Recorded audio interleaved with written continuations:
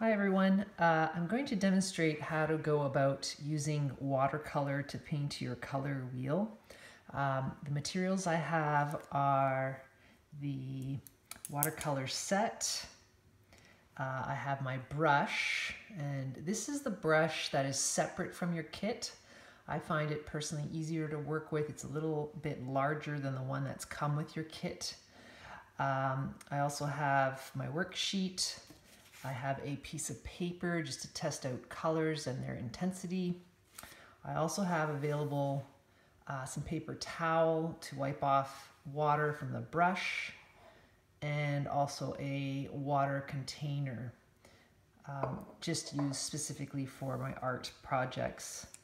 Um, please keep, keep in mind the paper is very thin. It doesn't take a lot of water the way watercolor can take water. So we have to be really um, aware of how wet the brush is and also the paint. So starting off with uh, yellow at the top. Okay, and we said that in the previous video, we're only using three colors, red, yellow, and blue. So what I've done is I've blocked off the other colors so I am not tempted to use them. So you're going to um, you know, work with the color. You have to really get some water in there and then make sure it applies um, intensely into the space provided. You're trying to learn how to work with the paint neatly, so you are going to fill in the whole box. All right, so I'm gonna work in between yellow and blue. As you're doing this, please look at the example that's been posted for you. You can have that up on your computer screen so you can sort of try to match those colors. We should see differences going around the color wheel. So from yellow, uh, yellow gets darker, turning to yellow green, green, blue green, and then to pure blue. So I can also get that pure blue down if I'd like, just to understand where I'm working. And if I feel I have too much water on my brush, sorry, I'm just gonna position this palette here. I can use the palette to kind of intensify the color and mix it. So here I am going into the blue section. And again, not too much water, okay, um, but not so little that everything's going gooey in, in the container. So you're trying to, to sort of work within the space as best as you can. You are going to fill in the whole space um, so that you are practicing being as neat as you can. All right. So essentially, uh, when you're working with paint and thinking about this color wheel, uh, you should really be mixing the light color, ample amount, the yellow in this case, and slowly adding a bit of blue to get the other colors. But you may be, you know, doing it a bit out of order just to ensure you, you get color correct. Very important, please note, do not try to mix on the paper.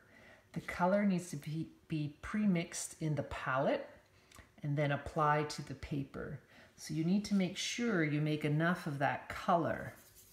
All right, so I'm getting a bit of the blue and adding it to yellow to get the next color. And I may feel I don't quite have enough, so I'm going back into yellow, mixing some more, getting a little bit more of that blue to get yellow green. Okay, so I'm adding that to the yellow green.